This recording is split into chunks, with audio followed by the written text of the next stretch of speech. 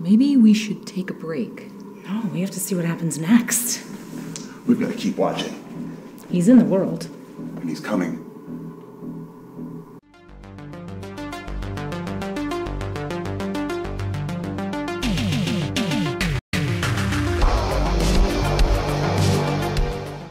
Hi, this is the Professional Amateur Hour coming to you with another review.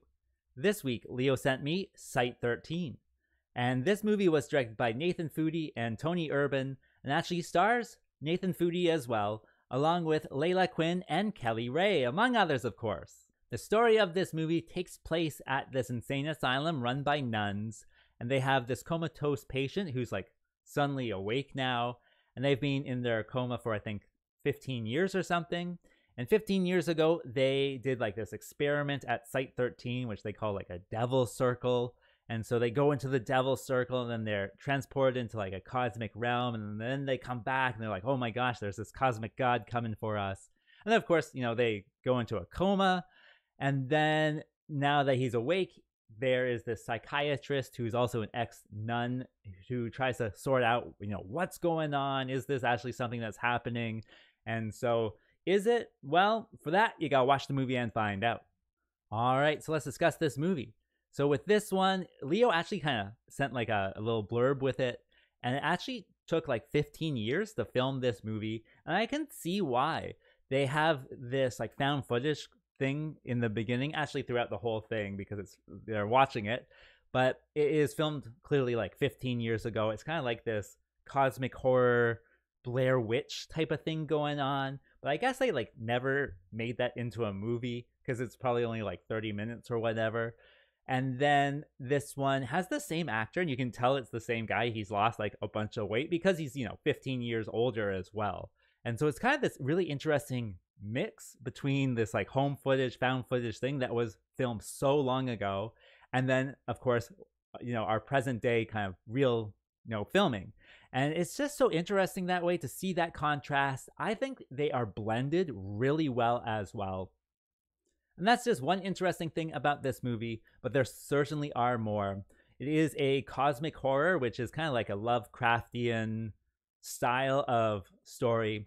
And with that, it does come with its own, you know, problems. I think with like Lovecraft stories in general, you have to believe that these gods are real. Like that's just something you have to go into it. And so I went into it, you know, saying, oh, okay, these gods are real. That's kind of the, the premise, right? Of, of being cosmic horror. There's nothing you can do about it, and they don't care that you can't do anything, right? And so it's really interesting how they actually kind of blend that into the story. I've never actually seen anything do it this well. I've seen other cosmic horror ones where they go into a sewer or go into a temple and it's all different angles and whatnot. But this one, it's so interesting. It's so natural. It feels like this is like just like a story in our world. Like it is incredibly well done. Um, like I said, they blend those two things together, and then just how they all kind of hint at this cosmic horror throughout the whole thing, and then how it all happens at the end. I won't give it away, of course, but it is really well done for a cosmic horror. I've never seen one done this well. In addition, I thought the acting was really good as well, or at least in the present day stuff. With the found footage stuff, it has that Blair Witch quality to it where they're kind of overacting and kind of just saying things. But that's the, you know, the style.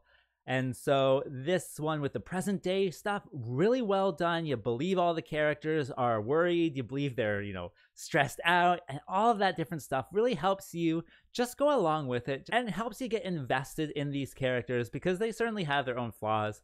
But, you know, it's really, really well done on a variety of different fronts.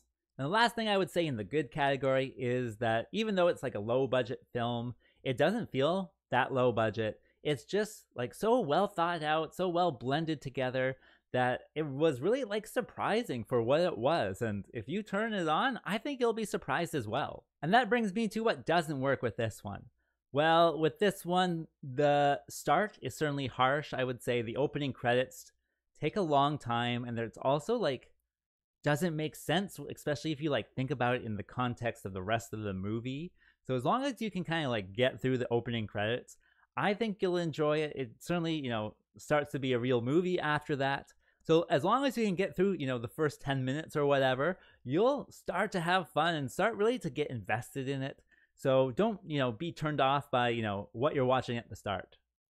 And the only other thing I would say about this one is that the insane asylum that's run by nuns, that seemed like the most unrealistic part of it all. I know it's like a cosmic horror with, you know, cosmic gods and whatever, but I had never heard of like an asylum asylum like run by nuns. And so I looked it up. Apparently there was one at one time. Of course it's like closed now. And then there are also psychiatrists as well. So I looked that up and there's a few psychiatrist nuns out there as well. And so I guess it's realistic, but I just like never heard of it. So it was kind of the thing that was holding me back at the start. But I gotta say, the nuns actually became like my favorite part of the whole movie. Like they don't follow the letter of the law completely, so they're actually like more human than you would expect. And so it was really interesting just to see them, you know, deal with this stuff and and how it all goes down as well. So yeah, the nuns certainly rocked this movie and, and made it a lot more interesting than it would be otherwise. As for my recommendation, well, if you are a Lovecraft fan, I've never seen it, it done so naturally, so this is certainly a must watch for you.